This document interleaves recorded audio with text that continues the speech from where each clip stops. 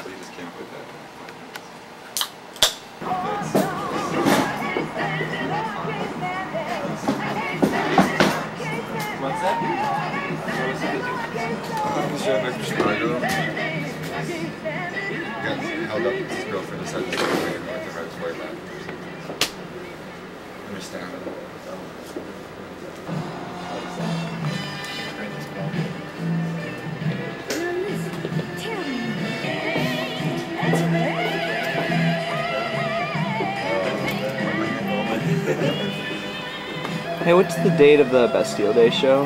17th. So we're still gonna, July. So July we're gonna finish up 17th. three songs and record five still at Whistle's in four days. Five days. Well, the whole plan was to narrow it down because we, logically we're not going to be able to finish it. There's no. I'm not going to bring provincial attitude to it. I think that's we just need to realistically not pessimistic. Right. But we can do it. I mean, if you want to, if we can get these four songs recorded and all the overdubs done, then if we have time, beneficial to record it. Well, yeah. Well, I think, uh, but I think Bridgeton, you know, uh, I'd rather do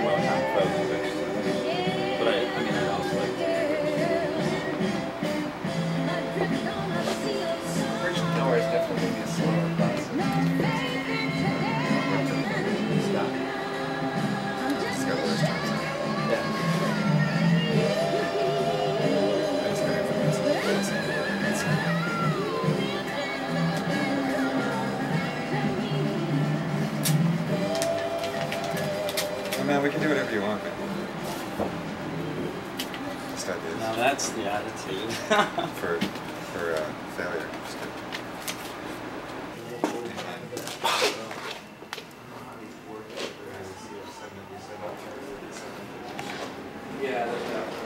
Frantic dog. Pretty well behaved normally, it seems. yeah. love to see if you had food. Oh yeah, I found that out the hard way. Should I drum some of those up and bring them over to Jules?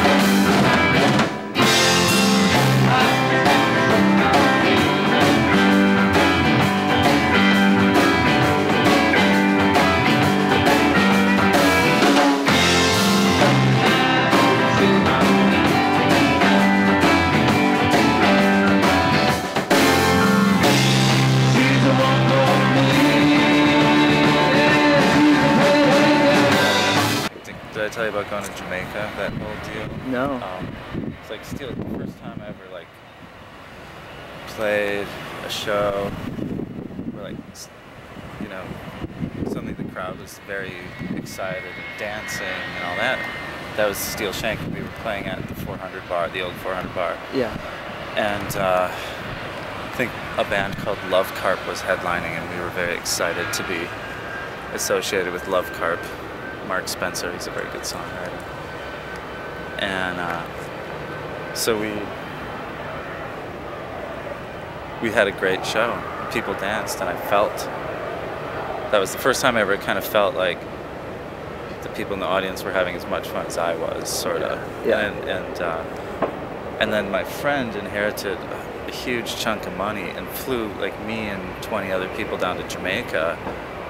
The next, and that was the next day. So I had this show, this like show where I saw like how good it can feel, you know, to to really connect with an audience, and then to go to Jamaica and do nothing except party and smoke weed and Iceland air. And and it was just crazy. It was beautiful to really reflect, you know. That had to have been, had to have been a great week. Yeah, it was. You know, the sequence of those things. I was a little nervous because I flew to, to Montego Bay and then got on a, like a puddle jumper to Negril, which was s- reeked of gasoline. You could see sharks in the water below, and it was a bumpy ride. And, um, and then I got dropped off in Negril, and their airport was basically like kind of looked like a bus stop and there I was, and I didn't know I didn't know where I was staying. I didn't know, you know what I mean? These my friend bought me these tickets, gave me two flight number flight numbers, and just said somebody will be there. And then I get there and there's nobody there. And But uh, I one of the nights we were there, there were a couple of kids from Austria traveling, and um, so I sp- they didn't speak very good English, so they learned that I speak, speak German, so we talked a lot. And, it, one of the really wild night, a lot of, a lot of crazy stuff happening. Anyway, so I'm out of my mind, hallucinating, and these two Austrian guys knock on the door, and they say, "Hey, Matti, wir sind beraubt worden," which of course means we've been robbed. So they want me to go down. They basically woke up. They were like 20 feet away from us. They woke up. Both had pis- pistols in their mouths. They got they got like $800 cash ripped off. So they're like, like I said, I'm I'm hallucinating, and uh, they're like, "Will you come down to the police station and translate for us?" So I, we get a cab, we go to the police station, and it was probably like 100 degrees in the police station. And there, it was like, I don't know if it was the town drunk or prostitute or whatever, but there was, a, it was like, kind of was like the Andy Griffith type setup where, oh, here we are, and then here's a cage, and this woman is in this cage beating the padlock, a large padlock, against the ca- cage for the entirety of the uh, visit and screaming. And I'm, like I said, you know, when you're hallucinating, these type these types of things get a little amplified, I guess you'd say. And I can't under I can understand the German guys better than I can understand the chief of police or who, whatever. Um, it was Oh man. but the moral of the story is that's when I sort of decided like music was a good thing, you know. then I got back from Jamaica and we were um, working on a record with Mike Wisti actually. And Kim Randall was going to put it out. She had uh, um,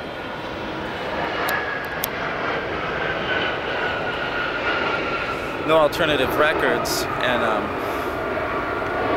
she, she gave us a contract to sign, and uh, Hold off until the jet passes. uh, she she gave us a, a contract to sign.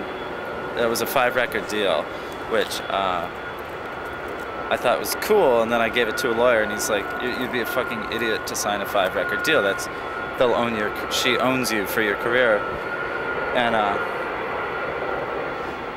Lifter Puller did the same thing, but they I think they just did one record with her and then told her to fuck off. Oh. Um, and that was part of the Twin Town or the Twin Tone, which like put out the early replacement shit. So I was excited about that. But so one day I went to, uh, we're sitting on this contract for like two months, and she's trying to get the ball rolling. So Grinder, the drummer, and I met her for coffee, and uh, so the bassist calls and he's like, "Hey, what did you do today?" And I said, "Oh, we uh, Grinder and I had coffee with no alternative records." and um, he quit the band because of that. He's like, you're, you're having fucking business meetings without me? This is my Oh. brother-in-law, yeah, so. Wait, Grinder's your brother-in-law? No, Oh. Pavlich, the bassist. Oh, okay, yeah. okay. I think that's a DC-10, maybe DC-9. So then I didn't have a bassist, I had a drummer, and that's when uh,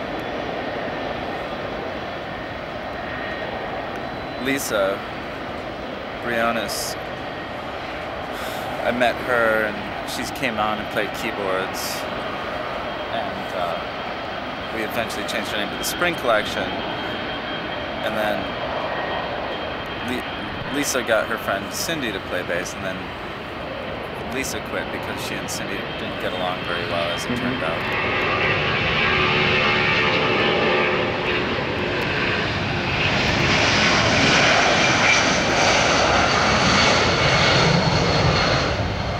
And uh, and then and then I was having trouble too with Cindy, so uh, So decided to move on without her. But then Pavlich came back, Okay. and Dax joined. Okay. because Lisa quit. He called me and he said, I heard your keyboardist quit. Um, do you want me to sell my gear or do you want me to join your band? And then, and John Try, John Try and Pavlich and Grinder went off and did Divorcee with Ryan Seitz oh. after I announced that my name was Gene and that I was going solo. and they thought I was crazy.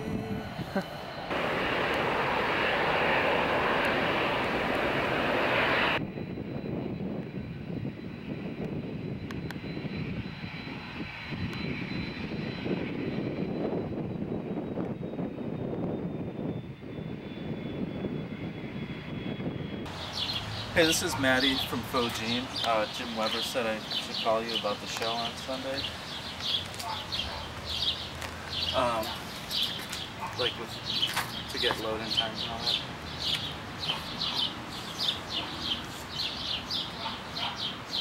It's uh, Okay.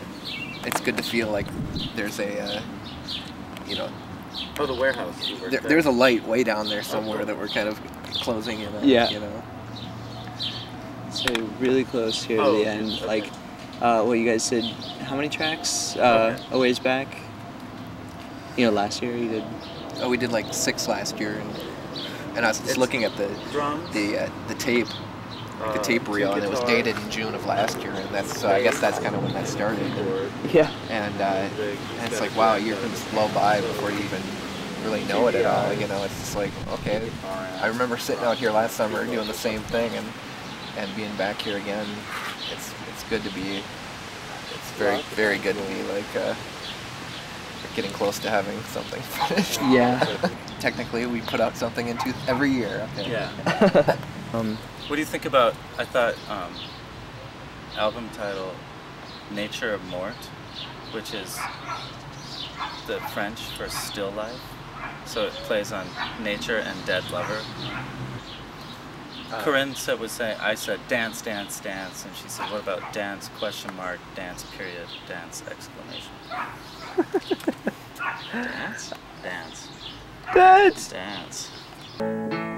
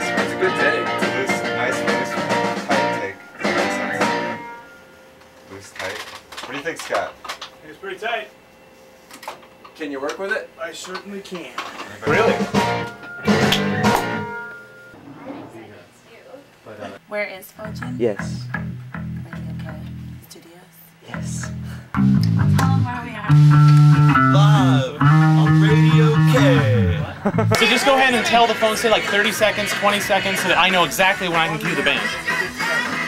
Okay? Five. You're listening to FM Week on Radio K. Hey. What did we just hear? We heard Be Your Own Pet with the song Spill, and before that we heard X-Ray Spex, Oh Bondage Up Yours. Indeed. Yes. Here comes Faux Jean on Radio K. Thanks for listening. FM Week. Go.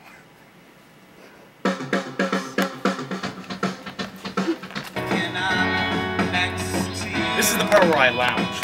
Uh,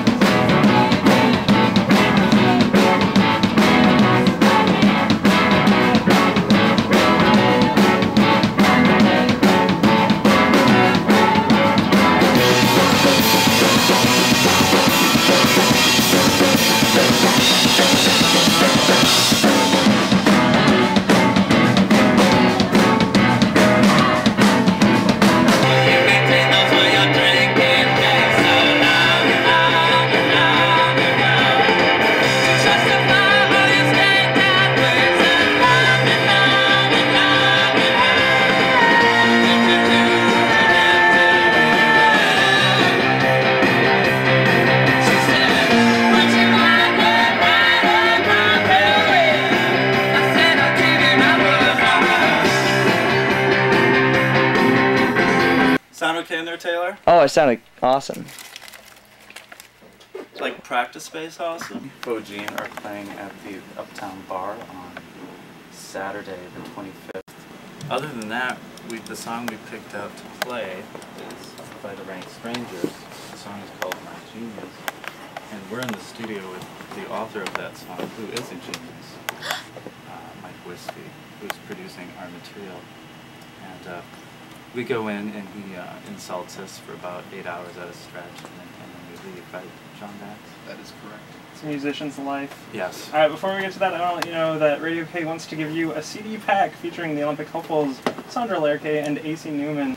Now, The Rank Strangers on FM Week on Radio K. So the kids working at Pandora's. Good to meet you. Who's tomorrow? Uh, tomorrow is Men and Evils.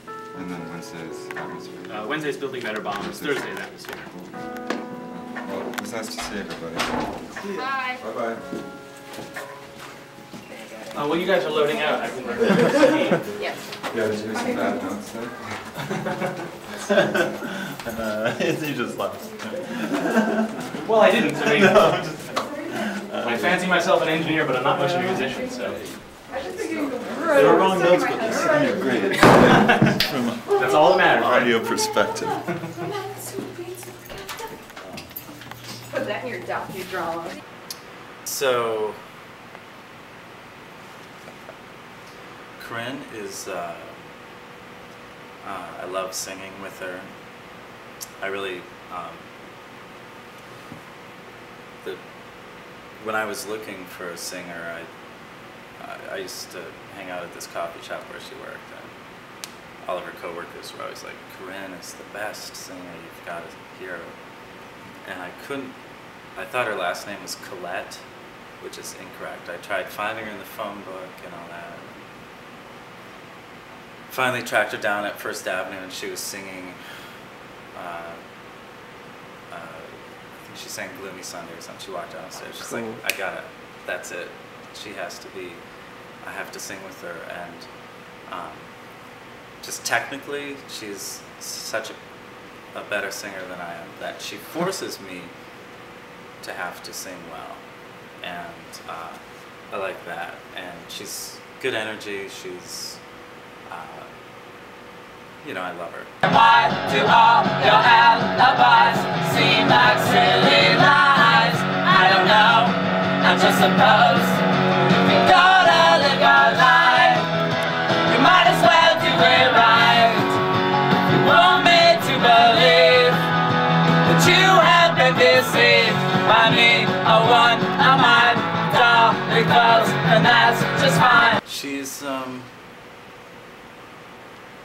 she's good in a lot of ways. She has good ideas. Uh, her sense of just her pitch, her her feel for harmonies, her feel for all that stuff.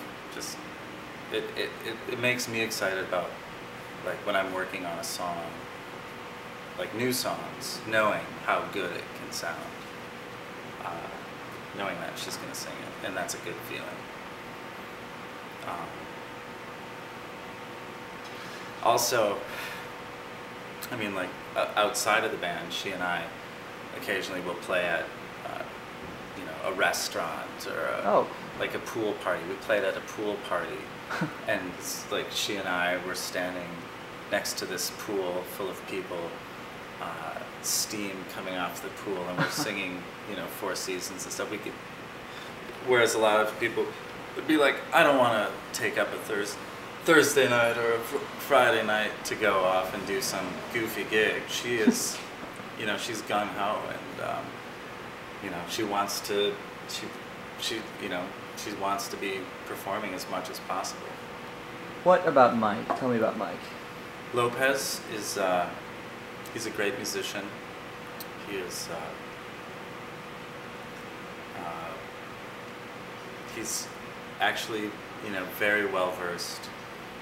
He's, it, it, it, it's, he's sort of opened my eyes up in a lot of ways. Like, um, be working on a song and he'll be like, no, it, sh- it has to be eighth notes and because the, kick drum falls here. He thinks he started out as a drummer um, up in Grand Forks, North Mm. Dakota, and uh, so he really thinks in a very complete way about music, whereas I have a, a, a little more sort of a vague autistic approach.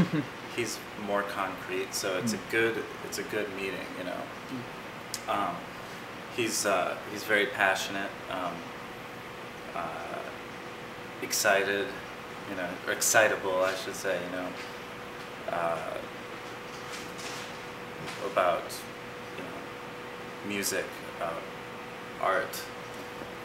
Um, he's a student still. He's at the University of Minnesota, and so it's it's interesting since I've been out of school for a long time to think of think of somebody sort of going through that and also putting as much time as they do into Faux Jean. So Mhm. it's it's his like level of dedication is is uh, I'm I'm flattered, you know, that he puts the time that he does in because he seems really pissed off at the other half, know.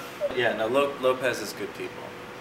Cool. And uh, like when I uh, we went out of town, you know, I lived in the same apartment for 12 years. We went out of town, we did a show, and we're driving back into town after a grueling weekend. He's like, "Hey, can anybody help me move?" And uh, he's like, "Yeah, I'll help you." And um, I don't think he realized what he was getting into, but but he saved my life. He saved my ass. He'll do that. You know, he really, you know, he has a strong sense of what people do for each other. Cool. That's cool. Okay, uh, what about Scott, new drummer? Uh, Scott is um, Scott is very like dedicated to his instrument, and um, uh, like more than I'm dedicated to guitar, you know. Which is which is great. Like Grinder, our old drummer, was like a kid who's sort of like, I think I might be able to play drums. I'm gonna buy a kit, and hey, I can, and you know, winds up being virtuoso. But uh, Scott works at it. You know, he's taken lessons. He's um, he plays jazz. It was kind of funny because Corinne, Mhm. when I first saw her sing, Mhm. Scott was playing drums. Oh, so you saw two Yeah, future I members at the same yeah, time. and I saw Scott, and I was just, you know, all he had was a snare and a kick, and people were just sort of jamming and stuff. And uh, and I saw just like a real natural um, feel for the instrument, you Mhm. know, where, and I had seen him play with FLRS, Mondo Film, and, you know, other bands, uh, Flim Flam Man, so I knew he had the ability to rock as well, so. Um, and he's and he's a good dude. Yeah. He he uh, drives a pickup truck with a topper. Yeah. And uh, finally, what about uh, what about Steve? Rockin' Gene Bakken. Yeah. Yeah. Well, that's uh, I, he's a a gentle soul. he's a very gentle soul, and um, That's where I'll insert the clip from last night. You with your arm around his shoulder. he, it's okay. It's okay. He he's, he is hard on himself, and uh, you know when we we you know we've been without a lead guitarist for I don't know eight months, maybe longer, and uh, and I s- sort of thought to myself, I don't I don't I want another guitarist, but I I, I only want somebody who is sort of really feels music, you know. Um, uh, and uh, Lopez was like, "Hey, my buddy is moving down here from Grand Forks. Can uh, he crash out with us for a couple of weeks? You know?" and uh, he just broke up with his girlfriend, and uh, he wants to come down here and kind of get his stuff going. And we've been over the winter while Dax and Lopez and I sat over here making demos and writing songs. Um, we would listen to Steve's CDs. I don't know if you've heard any of that Yeah, stuff. Yeah. And uh, and it was so I had a pretty good idea of who this guy was. Um, we actually we went up to Grand Forks, Fargo, and played with him Mm. over the winter. It was 35 below the entire weekend. So he, you know, yeah, he can come crash out for a couple of weeks, try to find a job, you know, see what happens. And we were just sitting around here. I was playing guitar, and he picked up a guitar, and and uh, because when I'd seen him play live, you know, he played keyboards, he did a little guitar. I didn't realize how that he was a, like a shit hot guitarist, Yeah. unnatural, you know. And I was like, well, you live here, you might as well be in this band. You know? and like that first night that you came over and filmed us was like the first night that we had all just played together.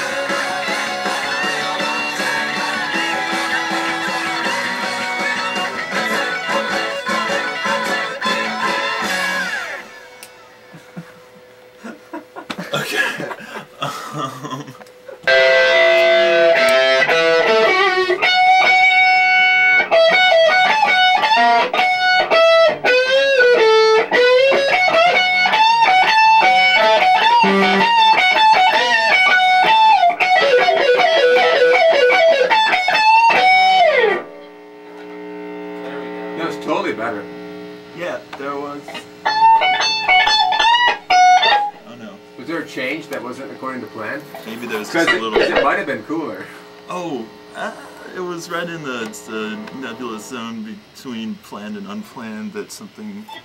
It was just a little. That, that And I heard an concerned open with. string, but that but that was, it was- it kind of reminded me of Chuck Berry.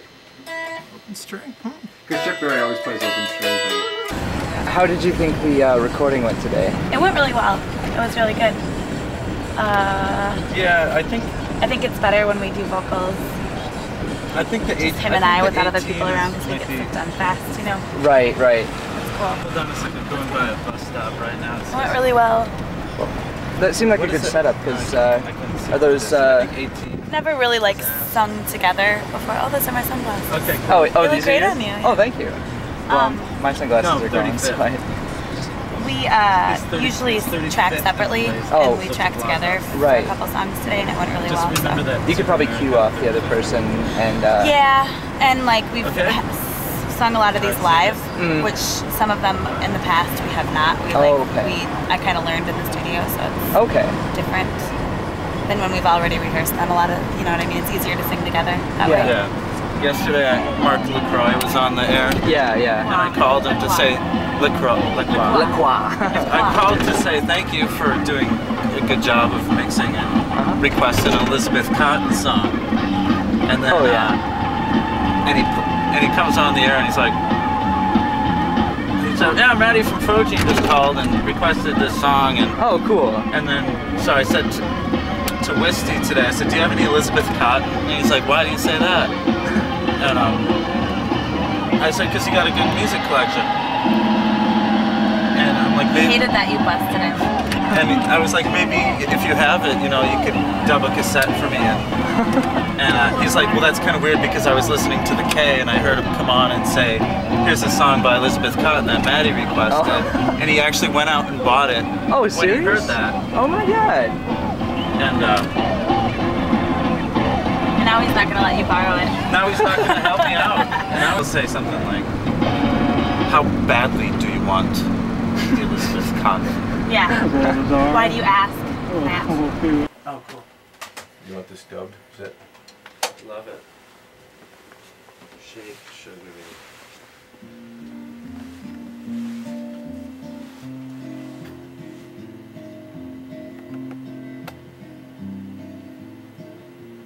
She sang the Freight Train 80 years.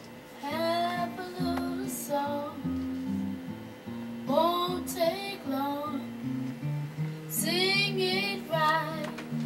And he was fa- he's familiar with with Bakken's pre, Solo work? pre pre uh, Bo- solo work. Have you heard any? No, but he he said it's awesome. Yeah, you'll you'll get a taste.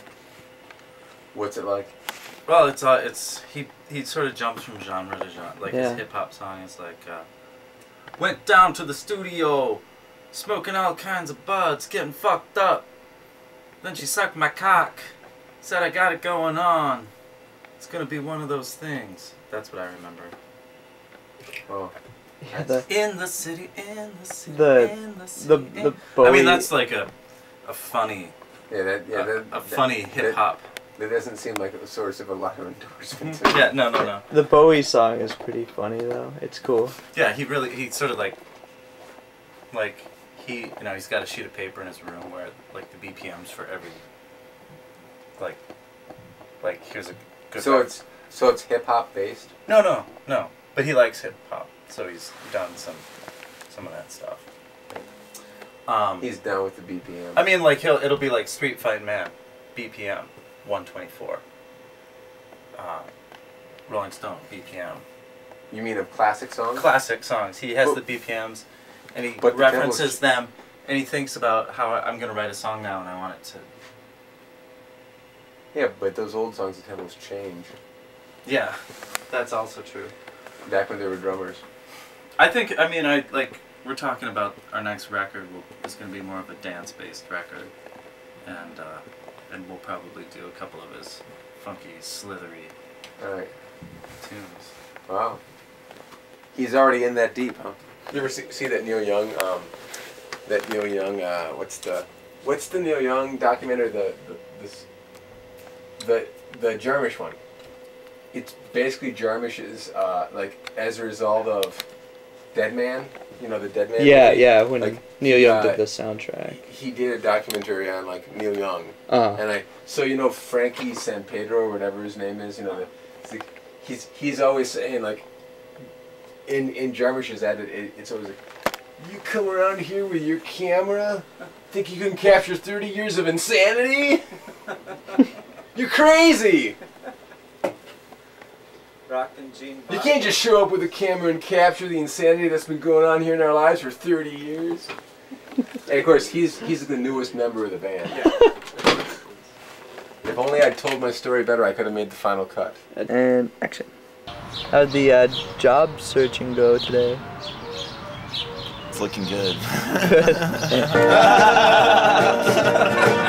I didn't get any of that. Sounds like you guys are ripping on McDonald's. So man Dax is to- allergic just to to hear horses. I mean, group you know. Yeah. how are we gonna? Did, he must not eat at McDonald's.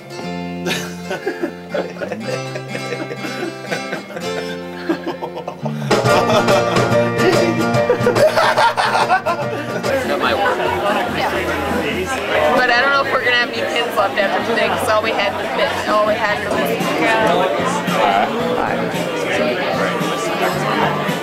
Is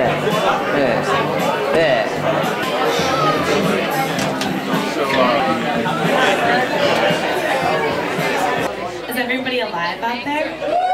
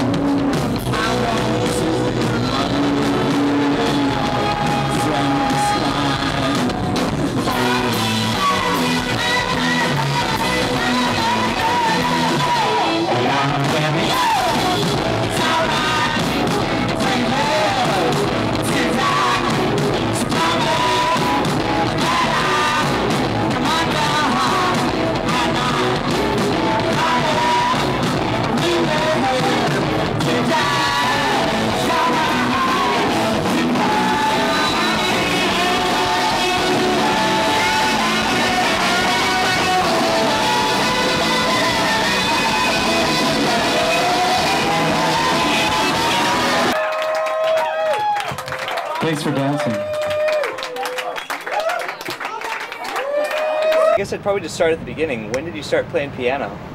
I started playing piano when I was six years old. And I came across a friend who had a little Casio keyboard, and he played guitar, and he really liked playing Chuck Berry songs, and, and so we sat around with the little drum machine that was in the Casio keyboard and and learned Chuck Berry songs. And when did you get when did you get involved with uh, with Matty playing music?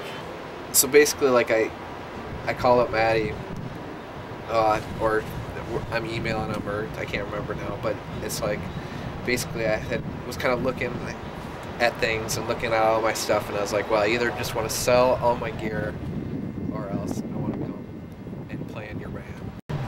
So I have to thank him for saving me from probably like you know the last seven years of sitting around thinking I'd really like to be doing music. What's one of your favorite things about the music of Faux Jean? Um, well, I think Matty's songwriter. I think Matty's the best songwriter in town in Minneapolis. Like, he he writes uh, more diverse music or different styles. Um, they're good good melodies.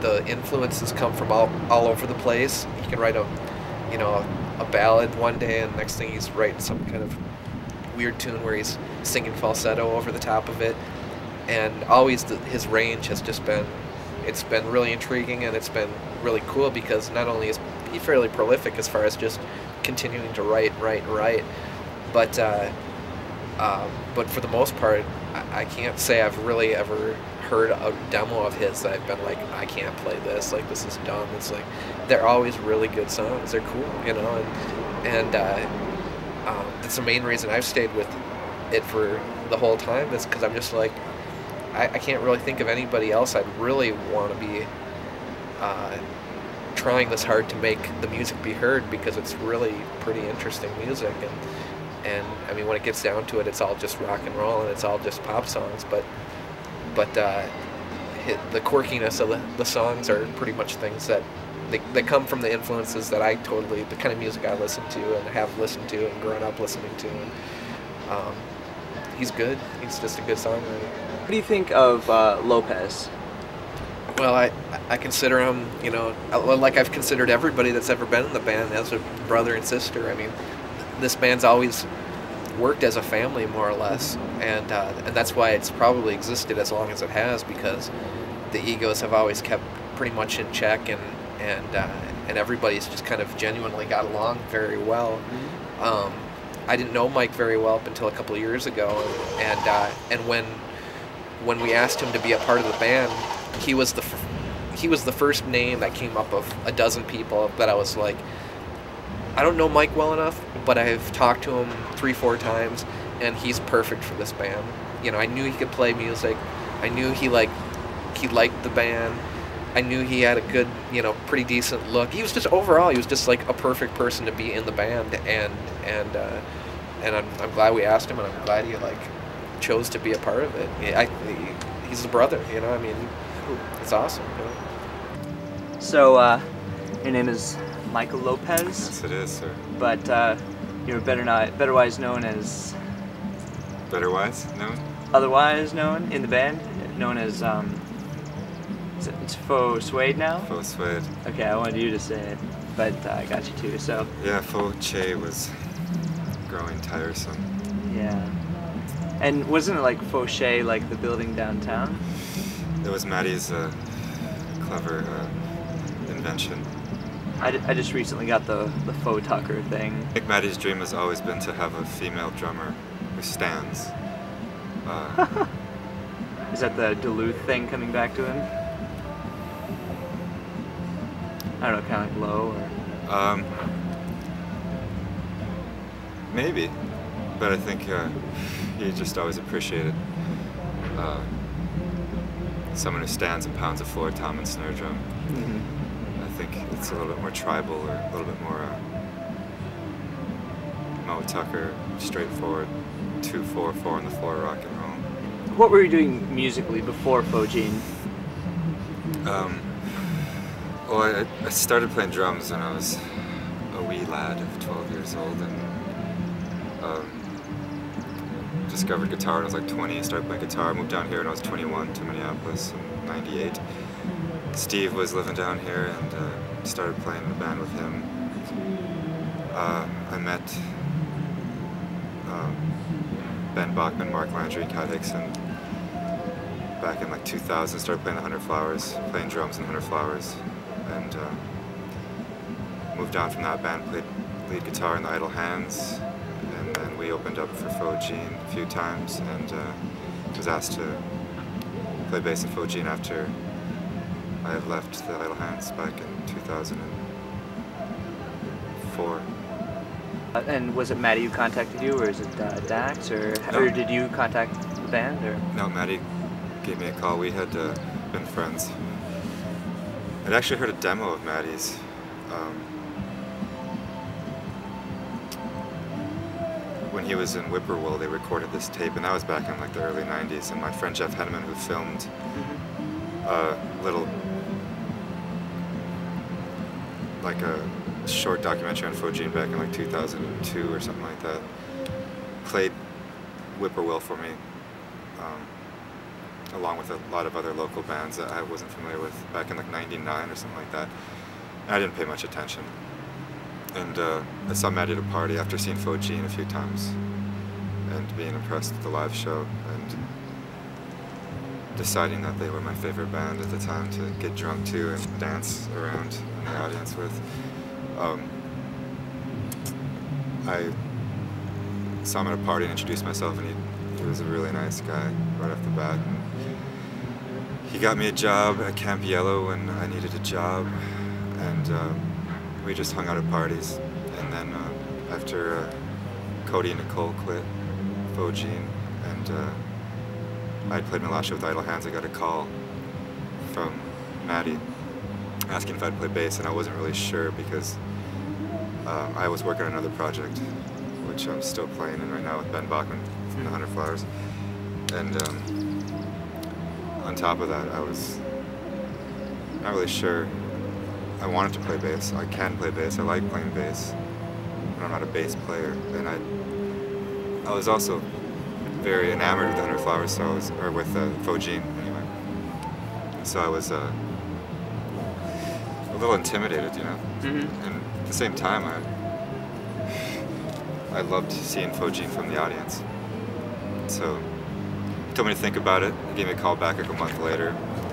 Told me to come over and hang out and meet everybody. And I showed up and uh, Matty Dax, uh, Grinder, and Al were there, and Corinne was there, and they were like sitting around recording four-track stuff.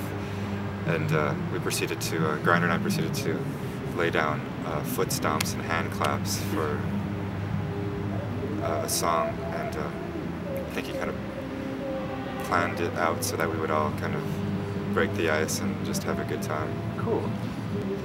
They were such nice guys, and they were so uh, they were so open to to you know playing.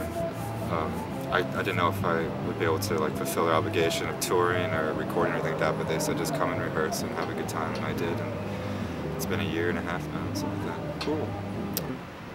What uh, personally do you think about Matty? What do I think about Matty? Yeah. That's a juicy question, isn't it? I think Matty is a great guy. He's always been a great guy ever since I met him. Um, he's a very talented songwriter, creative. He's uh, one of my favorite songwriters, probably. Uh, as a person, he's very generous. He's very deliberate in his in his uh, his speech. So, I mean, when he's not talking about music or ideas about Faux Jean, when he's talking about ideas and music about Faux Jean, it's almost like a fucking riddle or puzzle you have to figure out because he'll like go from one idea to another and you have to fill in the blanks. Um, but he's always, he's very open to ideas. Even if he's very passionate and adamant about his idea, he'll listen to somebody else's idea and he'll give the impression that he's definitely taken into consideration, but I think deep down he has plotted his course Mhm. uh, in his vision, and he, he will realize it um, with or without you. Uh, but um, I, you know, I admire his vision. He's he's uh, he's a very unique voice, um, artistically and and literally, and um, I mean, I guess that's one of the reasons why I think Faux Jean is uncategorizable and his music's uncategorizable. And as a person, he's kind of uncategorizable. too. Mhm. Yeah. If you had only um, a couple minutes, or maybe even a, like a single minute, to tell like a record producer or something, like as he got onto a plane, you know, like what Faux Jean is all about, like how would you briefly describe, if you had to, if you, how would you describe Faux Jean? Um, I would say Faux Jean has a unique sound to offer the uh, the world of music in a pop sense and in a musical sense. Um, it's very uh, there's a very diverse um, group of, of songs in the last three records. I, I like Faux Jean because there are ballads, there are dance rock songs, there are many influences from d- different places. Don't believe a word he says! I think my cover has just been blown. Oh no.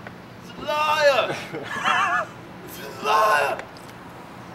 Now, juxtaposed to that person, I seem, I seem like I'm coming across very serious and yeah. I should like pull down my pants or something. Moon the camera. And um, what do you think of um, what do you think of Steve? Well, I just got to know Steve just recently when he kind of moved down here. I actually met him in the wintertime. We went up to Grand Forks. Actually, I'd heard his music from Michael, and uh, and it was the first thing I'd heard that was just a kind of an underground tape that I was like, I was just like, oh, this is really pretty cool. Like Steve's music, and because he wrote in all these different styles, kind of like Matty. And uh, we'd be at a party, or we'd be having a party, and the the litmus test was just like putting on Steve's music and seeing if people got it or not, you know? Because it's like if they did, then we knew that it was like it was a good time. And if the people were just bumming out, we were like, well, you guys should go to the next room or whatever, because we're just vibing on Steve's music right now. So when I met him a couple, um, in the wintertime or whatever, I was we played a show with him, and that's the first time I saw him play live. And he could play. He was playing keyboards, and he had a guitar strapped around his neck, and he was singing and stuff. And and uh, I was just like, wow, this is like he, he's got really long fingers, and so as a piano player, it's like it's fun to watch somebody that can like you know play like you know just has longer fingers than I do and be able to play like that. And I was just like, oh man, Steve's actually a really good musician too, you know. And uh, and then later that night, I talked to him for the first time, and and I was just like, you know, he's he's, he's a character, you know, but uh, a good soul at heart too, and another person that's perfect to be in the band.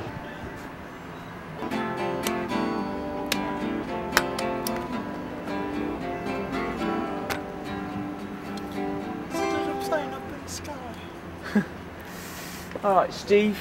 Um, how'd you get roped into playing this playing in this band? Ah. Well, I was living up north. This girl kicked me out, right? So I'm like, I better get out of town. My best friend in the entire history of the world, Fuss Wade, says, hey, you can stay with us. So, pack up all my stuff, get in my car, drive about halfway here, car breaks down. Got it fixed. I come here, I'm thinking I'll just hang out for a while, get a job, maybe play some music, you know. Wrong, wrong. Two days after I'm here, Matty comes out in this like Flash Gordon costume. See, what did uh, what were you doing musically before you came to Faux Jean? Well, I was playing like uh, Footsway and I, when I used to live here, we played in a band, a couple of bands together. And, you know, I, I, I had a little unit up north, which you know we'd play every month or two or something like that. But there wasn't really uh, a lot of opportunity as it wasn't a scene. You know, I've, I've been writing songs and, and recording um, mostly four track stuff like that. You know, like nothing too fancy. But uh, I mean, I started playing guitar when I was 10.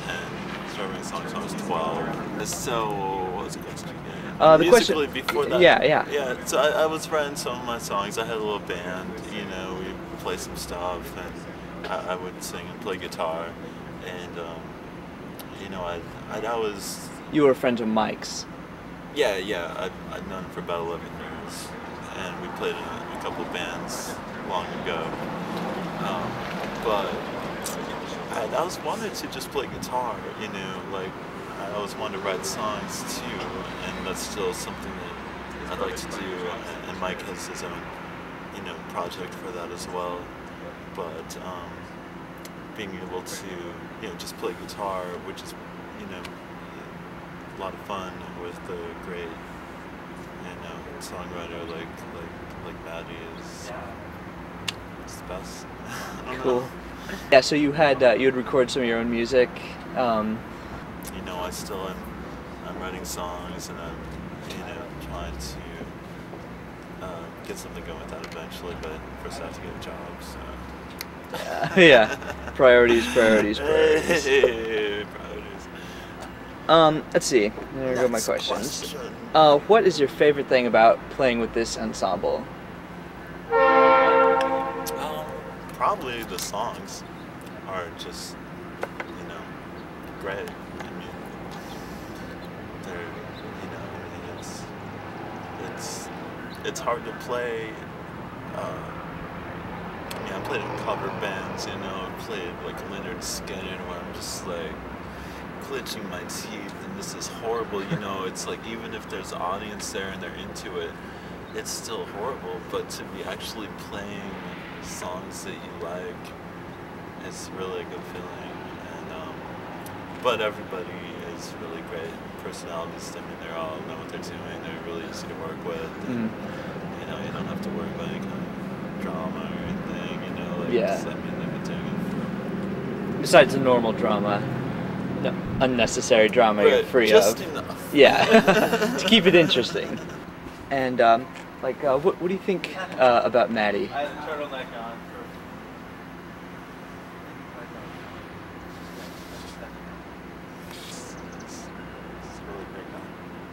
Cool. Uh, what do you think about Dax? Well, Dax is another story. No? I'll tell you a story here. Okay. We're still rolling? Yeah, yeah. These, these, there's some train tracks back over here, right?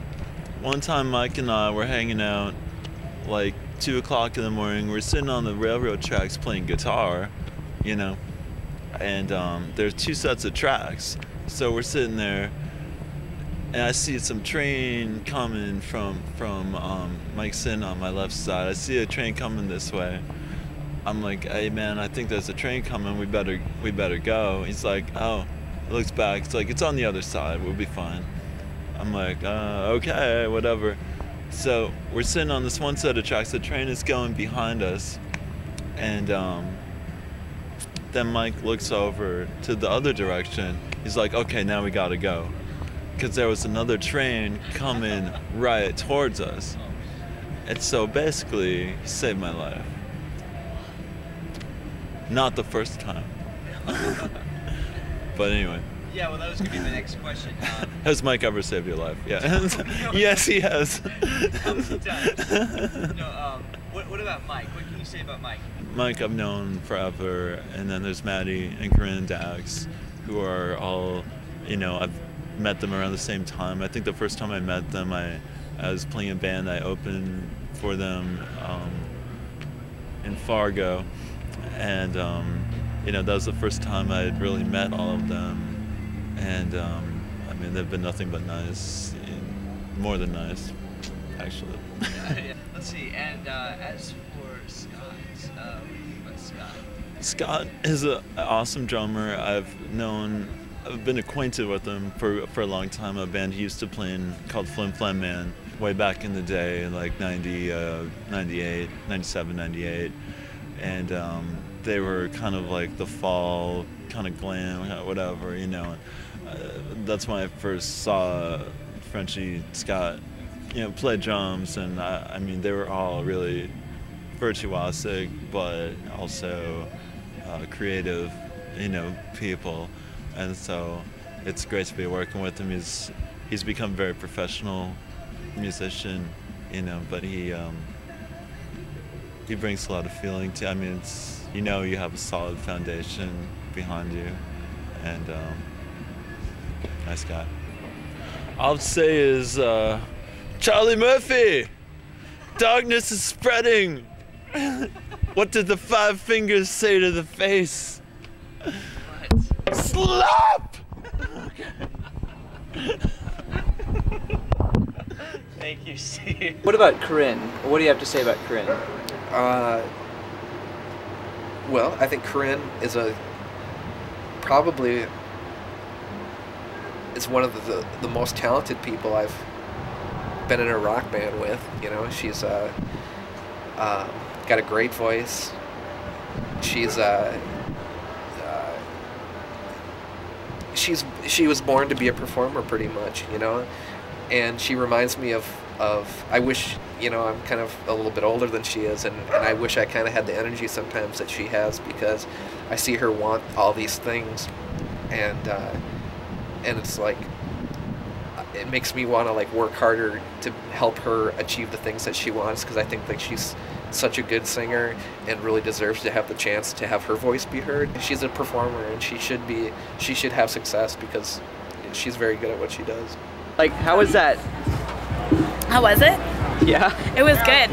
Uh, it's kind of my weird little subculture. Yeah, I don't know. It's like I work here at Cafe Barbette, and Oh. so it's like all of my friends from all over the city being in one place at one time. So Right. it felt like I needed to put out a little bit for the people. That was awesome. It was fun. It was a good time. It was kind of like a home I like playing outdoors too. Home field. Oh and god, like the, the lighting is terrific. I mean, you can get everybody constantly. Yep, and breeze is nice too, even though it's mm. definitely hot. Well, you guys looked awesome up there, so. Need an autograph. I got good I will. Oh yeah. Fuck yeah, why not? Sign an autograph. It'll be good video. Can I sign him on your boobs instead? Just kidding. Oh, absolutely. All right. Ow. Wait, wait.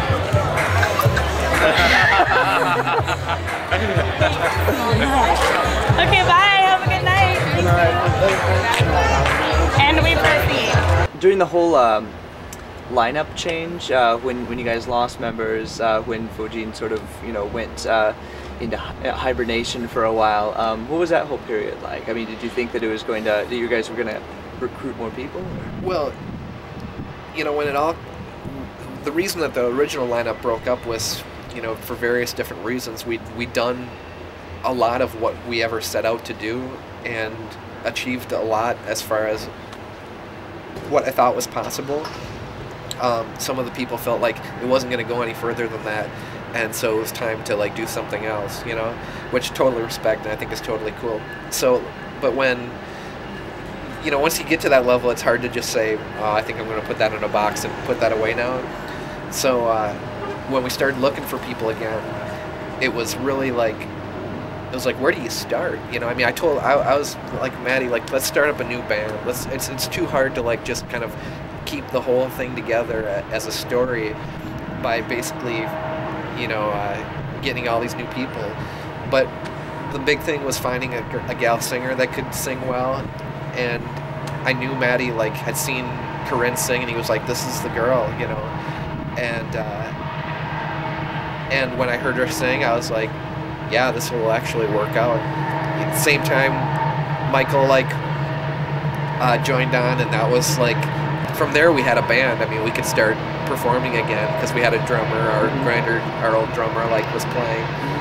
Um, Al Wires, Gene Wire, he was still playing at the time. Um, eventually, Gene Wire left, and we were just down to a five-piece. And basically, where we're at now is pretty much it was that five, those five people that were like making the music, and then eventually added Steve here. Um, I, I, didn't I didn't ever think it wasn't going to like wasn't going to get put back together. It always seemed like it it, it had had the ability to. Um, the hardest thing is that rebuilding a band is probably more difficult than actually building a band. You know, it's it's you're you're uh, it, it's an interesting experiment. You know, it's like wouldn't it you you have this thing that people are used to hearing and all these songs that you're used to hearing by the musicians that are performing them and then all of a sudden you're asking them to be receptive to all these other new voices. I mean, I think of like Kiss or something like that. It's like, you know, it, you, you can't uh, replace Ace Frehley, you know, and when you do, um, you, the band's bound to change. Um, now, different levels of bands have different levels of success at it, and, and some have more luck at it than others. But, but, uh, um, but I think that the the big thing is to kind of just hold true to to the music a little bit, as silly as that sounds. And I mean, really, it is just people playing music, and uh, as long as you kind of move forward on everything, eventually, hopefully, people will be receptive to what you're doing with new people. And and I think that was uh, that's always been our what we've hoped people would. We hope people would be open to listening to all this stuff with other people, you know. And I think they have been for the most part.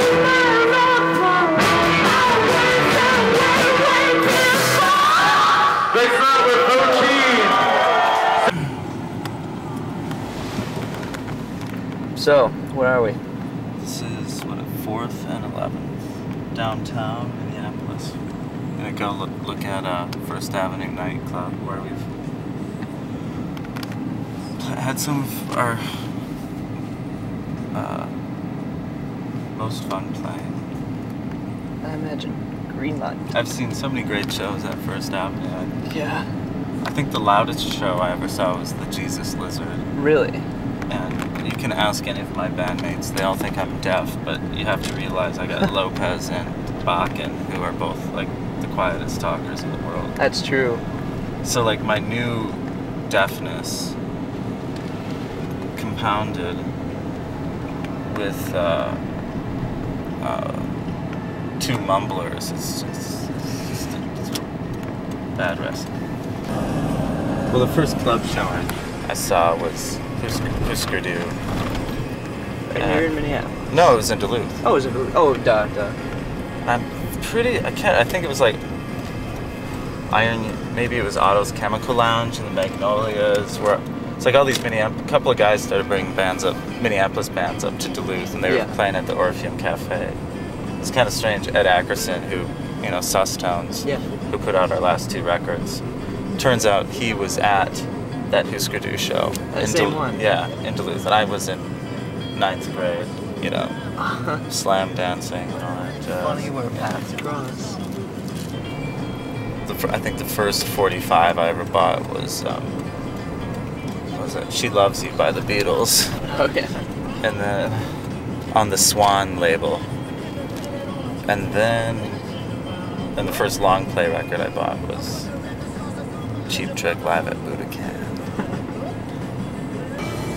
uh, Marcel on the radio.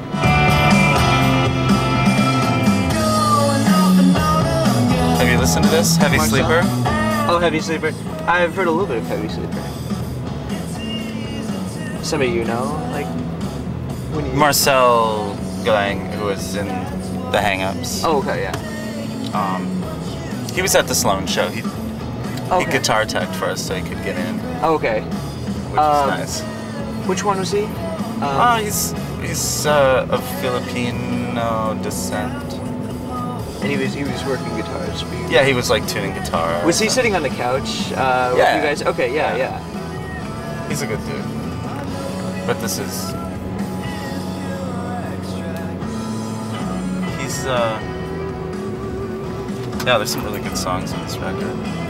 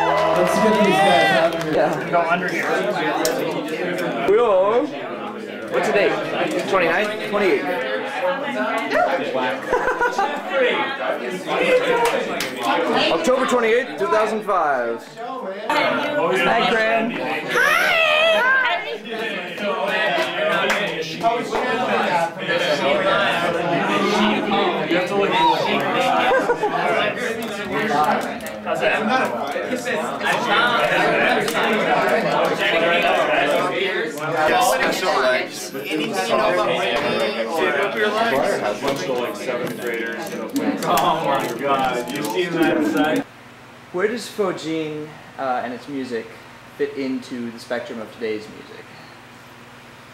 Uh, well, I don't know. I suppose it depends on what you think of today's music as. You know, I, um, I'd say we're we're weird. You know, we're different. We're we are uh, quirkier. You know, and you know, like I write these songs.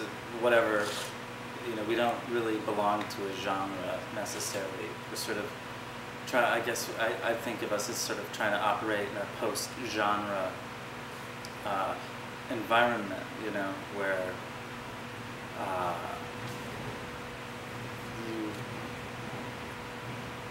you, like, you know, say you write a song that has a country influence. Should you say, no, we're alternative rock, you know, we can't do that. I don't really believe in that. It's just sort of whatever comes out, comes out, and if it's good enough, you record it, and uh, or you try to, you know, and uh, try to get the money together and get the people together and go into the studio and do it. Um, I, I, I- guess I, I sort of just like the name Faux Jean itself is kind of like willfully obscure, and our music sort of in a way is willfully obscure. But I think what we have in common with what's on popular radio is that a lot of what we do is, or a lot of what I do is write songs that people can dance to or should be able to dance to, and um, and and but while also trying to bring more meaning. Uh, not always, you know, but like uh, a song like Chartreuse Skirt is a, a song that you're supposed to dance to. I, I do, I guess, sort of put a lot of time into words and into that aspect of writing. And Sort of a band that writes their own music and plays their own songs and um, sort of separates you from a lot of what's on popular radio. But I'm, I'm trying to think like bands that I feel kinship with that I hear on, on the radio would be like Dressy Bessy is like a band that I think is sort of writing music that's fun mm-hmm. um, and, and, based on personal experience. Or uh, what's that? Mountain Goats. Oh yeah. You know, I mean, the difference between Mountain Goats and Faux Jean's. I didn't release my uh, songs on cassette. You know, over the years I sort of kept them in a shoebox in my room. Mm. And have tried to put out albums that way. Mm-hmm. But, um, cassette, I'm sure cassette release, cassette only releases will follow at some point. Everyone, please welcome Faux Jean.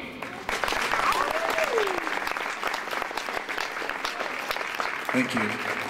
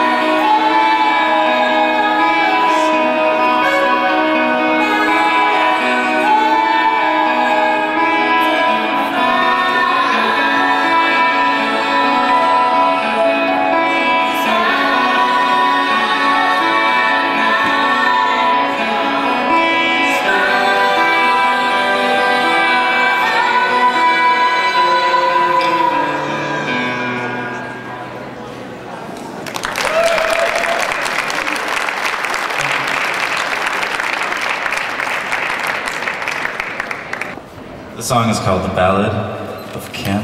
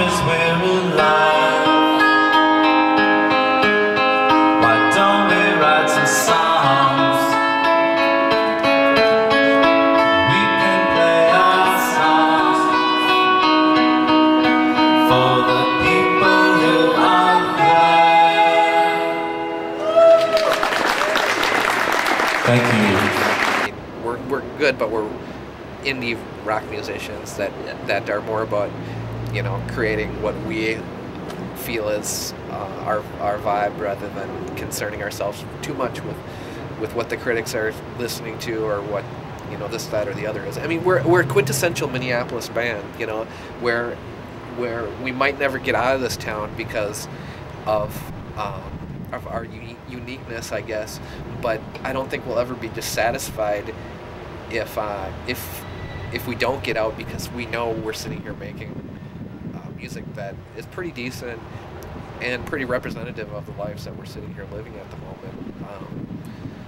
Uh, I, think looking back in history, people will be like, "Oh yeah, Faux Jean, they're quintessential Minneapolis band." They, they, you know, people in Minneapolis liked them because because they were so Minneapolis, you know. And I think if you look across, you know, all kinds of of uh, you know, 12 Rod, Asylum, uh, uh, the suburbs, the wallets. There's I mean there's so much musical history here of bands just being like, oh, they're really like uh, they're really unique to themselves. And then when the music starts to get out into the uh, uh, gets out into the, the national public eye or international public eye, it gets a little more difficult because they're not quite sure what to think about it. But I, I, I guess I'd like to think that there's a, a Faux Jean song for pretty much everyone out there, and and uh, um, as long as the band can stick around long enough and make records, eventually they'll get it, you know. And if not, it's not a big deal, you know.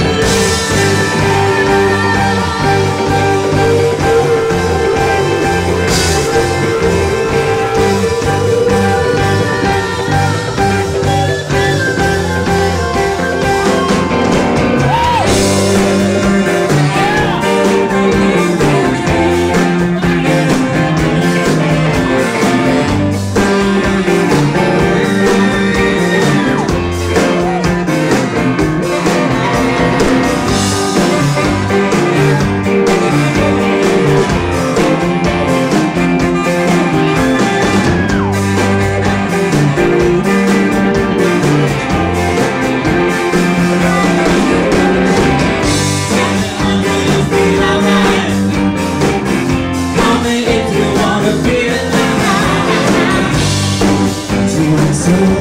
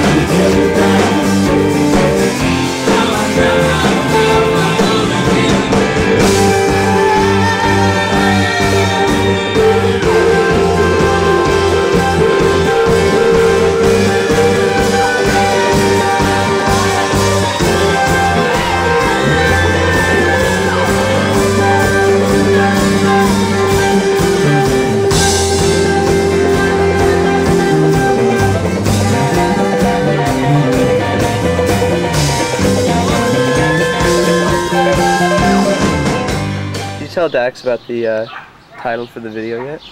His, oh, History in the Faking, yeah. Oh yeah. Okay, okay, I didn't know. If Crappy album title, great. it makes a little more sense on visuals. Yeah. Is anybody going to be offended if I spell the word S H I T in a song?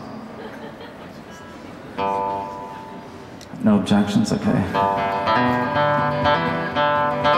Around the time of the publication of the Gutenberg Bible, 1400s, there was another book came out called uh, Till Eulenspiegel and his Merry Pranks.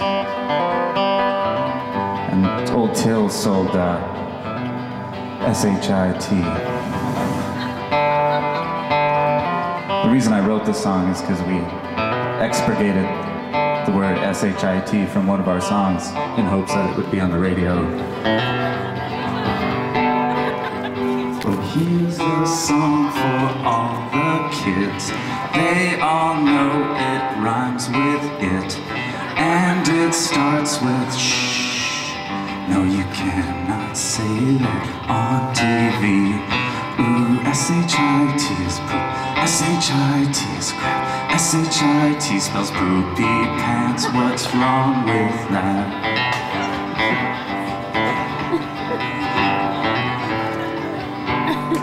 Play this on the radio? There's. There's a notion among the leaders of our country that done when spelled a certain way is wrong. You cannot say that on TV or the radio. Ooh, S-H-I-T is poop. S-H-I-T, what's that? S-H-I-T is poopy pants. What's wrong with that? S and H with an I and a T is poopy pants. What's wrong with that?